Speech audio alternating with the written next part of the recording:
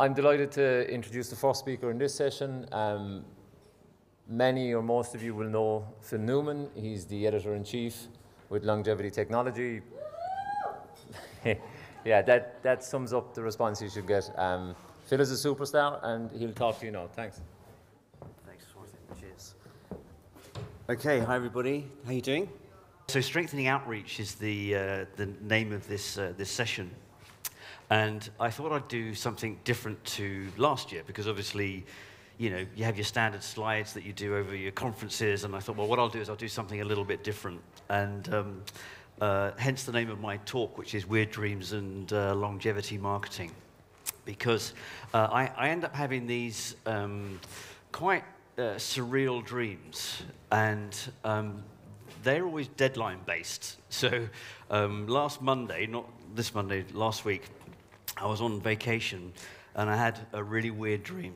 And um, I thought what I'd do is I'd actually share the dream with you. So I'm delighted to say that hopefully I'm still the first person to do a, uh, a dream sequence opening to their, uh, their slide talk.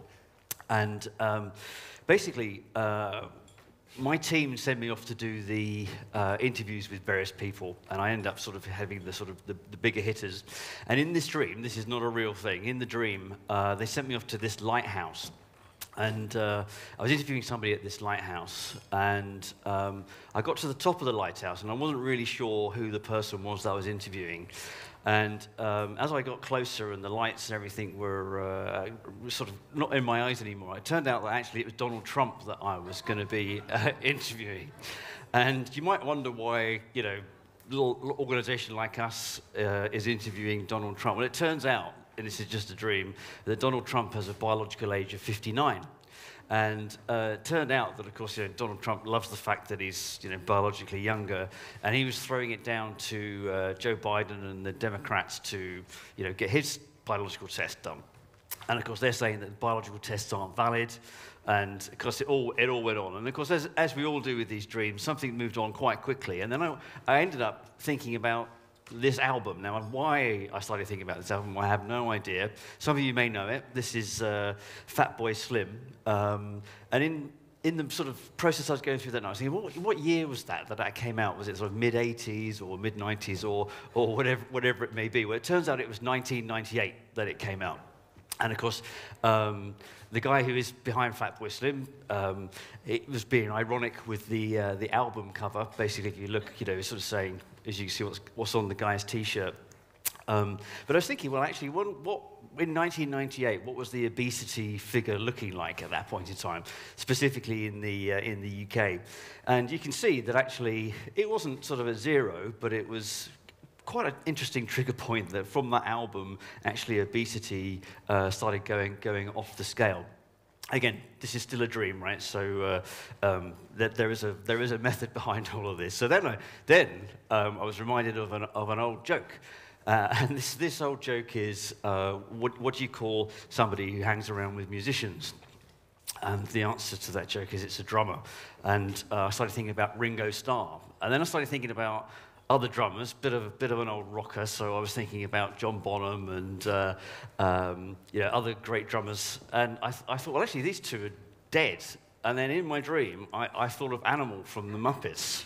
Right, so it's all this. It's kind of like it, as it goes, you know, these things start to uh, to start make sense. So this is this is actually the uh, the hallway in, in my home, and these are all pictures of our uh, you know relatives through the years um, you know, 10 to 30% of my, my uh, longevity, my genes is uh, laid out on that wall there. And um, there's a picture on the wall of this uh, 1980s uh, rock band uh, who weren't very successful, I have to say. And um, there's a picture of uh, me with hair um, hanging around with musicians. And I guess that my personality hasn't really changed very much from, from the 80s because effectively what I am now is I'm, you know, I'm kind of like a drummer hanging around musicians, but I'm now uh, a marketing guy hanging around with lots of very talented scientists and, uh, uh, and, and, CEOs. And I guess that I've kind of put myself into this position where um, you know, my organization is, uh, is, is part of the industry and we have some views of the industry. Anyway, I woke up from my dream, and I explained to my wife about, you know, Donald Trump, Fatboy Slim, and Ringo Starr. And I said, well, what I'm going to do is I'm going to open up my, my session at the conference uh, about all of this. And her encouraging words were, well, good luck with that one. So anyway, there we go. So um, in terms of um, uh, outreach and, and marketing, I mean, obviously, a lot of the content up until now has been, you know, extremely scientific. And this quote from Fred Wilson, who is a uh, leading VC, um, it's quite a long time ago now that he made this quote. I, I, found this like a really interesting quote because sometimes I agree with it and sometimes I don't agree with it. Um, but basically, the point he was making that if, if the product's good enough, then it's going to sell itself and you don't need marketing. Um, so, anyway, let, us talk about marketing. So, so, when you think about marketing in the context of any industry or any product, um, there are three elements to it. There's, there's product marketing, which is uh, the quality of your products, what the market needs from your products, what your competitors are doing, you know, understanding how your product fits into the market, and it does apply to services as well. Uh, then you've got strategic marketing, which is sort of the heavy lifting of things like lobbying um, or creating awareness uh, at a much larger scale, big strategic scale. And then you've got marketing communications, which is obviously the element of regular communications that sit behind that. And of course, you know, marketing is a very important part of strengthening the, the outreach of the industry out to uh, its potential customers, whether those customers are governments or, or individuals themselves. And um, unfortunately, my M has dropped off there, but this is a bit of marketing theory. I don't know if anybody's heard of uh, chasm theory, uh, but this is, this is uh, Geoffrey Moore's uh, book, Crossing the Chasm. And what happens is, as you can see, you go from innovators through to early adopters as a market starts to grow. And a lot of, lot of markets get over the chasm, um, and some companies and, and uh, markets themselves get over that chasm, and sometimes they can slip back, you know, because there's, there's maybe something more disruptive has come in. Um, and some companies and, and markets don't actually get across the chasm. And then this other one, uh, which Eleanor mentioned uh, from Vita DAO, which is the uh, Gartner hype cycle, which is where you've got the original point of innovation, the technology trigger, the peak of inflated expectations through to the trough of delusionment, and, uh, and away you go. But the, the, interesting thing is, is actually the, the two correlate. Uh, so the hype chasm model is something that I've just made up. It doesn't really exist. But you can see the concept of where you've got uh, a market developing, and there are risks associated with that market. So when you think about uh, the work that anybody's doing in this space, you might be at the sort of very, very early stages doing something like cellular reprogramming. You might be at the sort of peak at this stage, or you might be on the way down to the trough. You may have had a uh, phase two um, uh, failure. Um, and yeah, you, know, you, you, can appreciate that it's, of course, different parts of the industry are all, all at different parts of the scale. And as you can see here, this is, this is my guess of where we are really with uh, longevity in terms of its um, uh, a point to being completely infl inflated of all expectations. And um, you can see that what's happening in the marketplace, obviously you've got uh, Bryan Johnson, um, who is actually a really, really smart and very nice guy. You're going to be speaking or hearing from him tomorrow. Obviously, he's a public experiment now on longevity.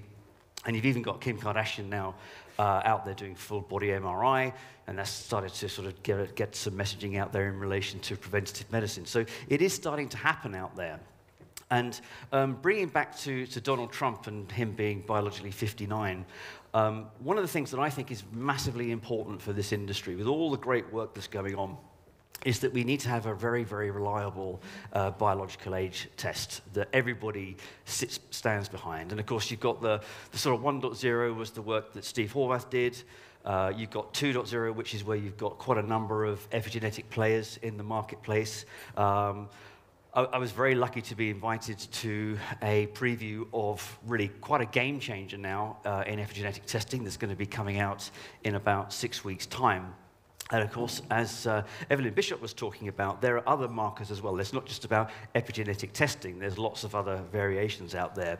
And what's going to happen, of course, is that over a period of time, especially when the medical community start to get involved much more actively, which I know is going to be happening, uh, Buck Institute's got a big program on this, and they're going to be doing work in, in December on this, we're going to get to a point where there is a industry consensus on me measuring and managing biological age, which we're not at yet. We're at 2.0.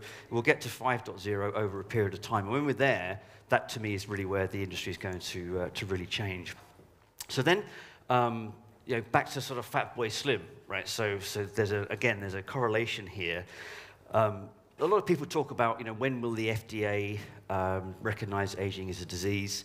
Um, uh, Ricardo made a, a, very important point on in his in silico presentation on uh, the first day, which was when a drug gets through, it will be a longevity drug because at the end of the day, it's going to be focused on one of the diseases of aging. So I'm not fixated, as, as I'm sure some of you aren't either, on the FDA actually classifying um, long aging as a disease because you know, the aging diseases themselves cost an awful lot. And of course, the pathways that a lot of you are working on scientifically, at the end of the day, are going to fix either one of or multiple of these aging diseases. And I was um, uh, brushing my teeth about, about two, two months ago, I think maybe six weeks ago, and I was listening to the radio, as you do, and there was a, uh, a government spokesman, UK government spokesman, talking about uh, this new drug, the, the skinny jab, which, um, as many of you may be aware, this is focused on diabetes, but actually it is a, uh, it's, a, it's a drug that helps people uh, lose weight. So being overweight, obviously, in my opinion, is not a disease. Obviously, diabetes is a disease, but effectively what you've got is you've got a kind of lifestyle um, uh, drug now that's starting to permeate into the market. And the thing that actually really shocked me, and I found it fascinating, is that the government spokesman was saying they're going to give this to millions of people in the UK. Not just like a, you know, a few thousand as a kind of extreme, they're going to give it to millions of people. And I was really fascinated by that because that to me is really a sort of precursor as to where we're going to be in the future. And if you just take a look there, this is just a sort of scrape from the FT website. You can see that all the headlines there, this is just August, right, uh, relating to the skinny jab. Um, what it's done to uh, Novo Nordisk's share price, you can see it's kind of giving it a really nice boost, boost there. And the key thing is, is when you look at some of those headlines that came off of the, uh, the FT website, Fast forward a few years, what, what is that going to look like in the context of longevity? Um, we're actually going to be doing some research to start to really get to the point where we can get a feel for when, when we're going to get there with, a, uh, with some form of uh, treatment, whether it's a pill, an injection, an infusion, or whatever it may be. But when we get to that point, you can see that whether, it's a skinny jab or it's going to be uh, some form of uh, longevity drug, you can see the context of how that's going to change. So going back to that, that hype, hype cycle, when we get to that hype cycle, it's going to it's going to explode, and we all know it's going to explode. The question that we're now working on is uh, is when is it going to explode? Interestingly, I, I was speaking with uh, Juvenescence's chairman, Greg Bailey, and um, we were talking about uh, where the first market will be for, for longevity therapies. And I, I was saying that you know, I'm a Brit, and I, you know, I, actually our market is America, and I actually think that the UK is going to be one of, the, one of the first places where we'll see a rollout of, uh, of aging therapies. And, and Greg Bailey thinks we're going to see it in the GCC, which is the, is the Middle East area. And that's kind of counter to, of course, the fact that, as you can see here, these, the blue circle, part of the pie chart there, is where all of the longevity companies are. So most of the longevity companies and most, most of the researchers in America, it might well be that the first market isn't America because, of course, of the, the constructs of the, uh, of the medical system. So the third part, um, back to sort of my, my, my domain, is, is really in, in communications. And, and as a marketing guy, uh, back in the, in the sort of middle part of uh, the last, last decade, I was looking for an industry to throw myself into. Um, I've been in lots of different industries, and um, I read about longevity um, just as, a, as a, in an article. I thought this is really, really interesting. And that was back in 2018. I read uh, uh, the MIT uh, interview with Aubrey. I read uh, Jim Mellon's book. Started to do some work and realized that actually what I felt at that time was that this industry is going to be the equivalent of what banking tech was before fintech happened. And we all know what's happened with fintech since then. So we, we, get, we got started. We, we started in 2019 And since 2019, we've migrated from being just a, uh, um, a, a, business uh, news website. We're not obviously um, um, a research publication. We, we, we, cover the industry itself in terms of funding and new discoveries and that type of thing. Uh, we migrated then to developing uh, much more activity with the investment community. So we have a database of um, many, many investors uh, that we now present uh, investment deals to that are, that are longevity deals.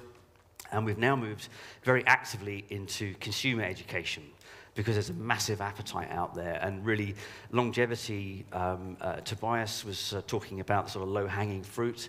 As we know, the supplements industry and what will happen with the clinical part of longevity is moving very fast. And there's a lot of appetite out there. So we're, we're working with consumers. So um, we've been working hard at it since we launched in September 2019. Um, we had a massive milestone um, last month. So in July, we hit uh, 1.25 million unique users on our website in that, in that one month, which was phenomenal. You know, it was a big surprise to us. We've been working hard to make that happen. So we're on track now to sort of grow our, grow our platform as you can see, we're expecting to get to 5 million users, and obviously that's part of this, uh, this outreach program. Um, very interestingly for us is that um, the two bars, the orange bars there, indicate that really it's the sort of millennial generation are the ones that are our most active readers. And it's great that there's this you know, beautiful gender split right down the middle. Uh, our market is the USA because that's just really where the, uh, the market is happening. And uh, what we did uh, as part of our work as a, as a, media company was actually try to measure and identify the size of the industry. So we, we actually defined uh, 25 different domains of longevity. You, you can see them there. And what we've done is we've integrated those into a, into a, into a model. So, so that model basically is what we consider to be the, uh, the map of the longevity industry. Um, we might be adding another slice in there, which will be longevity fintech, because that's something that's really starting to emerge now. Um, but the key thing is, is now we've got the, the identification of the sectors, and because of the work we're doing with the investment side of the industry, we can start to count how much uh, capital is going into the industry. So you can see that 2021 was the standout year. Um, 2022 wasn't too far behind that, but 3 billion of that was made up by Altos. You can all imagine what 2023 looks like. It's been a horrible year in terms of uh, equity investment. We've identified that only uh, 40 longevity companies have had any equity funding this year. So what it gives us the ability to do is to say, to understand how the industry is growing, you know, how the, uh, uh, the, the, the, sort of sectors of the industry are starting to move around, um, you know, you can see that there's longevity clinics is in there, and that's a big focus for us. We think that's a really, really important part of the, of the industry, which we're now starting to focus on. And the, key, the nice thing is, is now that we've got that data, we've started to be recognized as industry analysts for the longevity market. So uh, over this last year, we've been um, quoted in the Wall Street Journal, New York Times, and so on, because people are, they're, they're now interested in longevity, because longevity is starting to get onto their radars, and they want to know how big the industry is, who the players are, what the issues are, and so forth. So uh, we are doing a lot of work with the Wall Street Journal at the moment. They, they, they really like what's, uh, what's happening, and they're very, very interested in, obviously, the likes of what Kim Kardashian's doing and what Bryan Johnson's doing, that gets on their radar. So then, obviously, that then helps the whole industry and the awareness of the industry grow. So um, our mission is, is part of strengthening outreach. Um, we are a commercial organization. We, we, we generate money. Um, we're raising capital at the moment uh, to continue with the work that we're doing. We will absolutely be continuing to do what we do on the industry side, interviewing people, understanding the dynamics of what's happening in the industry, we're also actually going to be doubling down on the investment brokerage side of our business because, you know, ultimately it's going to come back. We know it's going to come back, um, but you know, it's not happening for a while. And I don't think actually for probably another year that we're going to see any great correction in terms of uh, investment activity. So we're moving more actively into helping consumers understand about longevity, really trying very, very hard to uh, avoid uh, hype and uh, really giving people guidance on, on the right things. And as it says on the bottom there, we've just, um, we've just launched two days ago uh, our clinical survey. So if you are involved in the, uh, the clinical side of longevity, please go to our website uh, and help us complete that survey so we can get a picture of, uh, of what's happening within the industry. So as a, uh, as a former drummer, um, now a, a marketing guy, thanks very much for, for your time today. Thank you.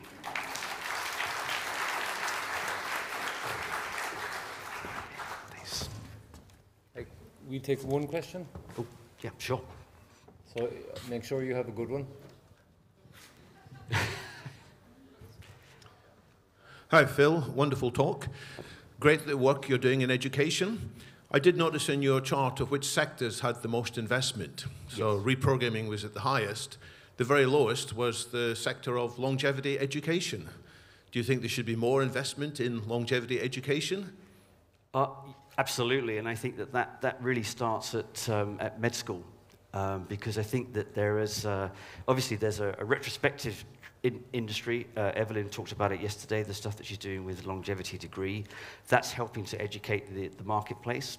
Uh, but people are coming out of med school with, with very little knowledge about uh, longevity and uh, uh, the industry that they're now moving into and being part of. So I think it's a very, very important part. And it's not big enough uh, by any means at the moment.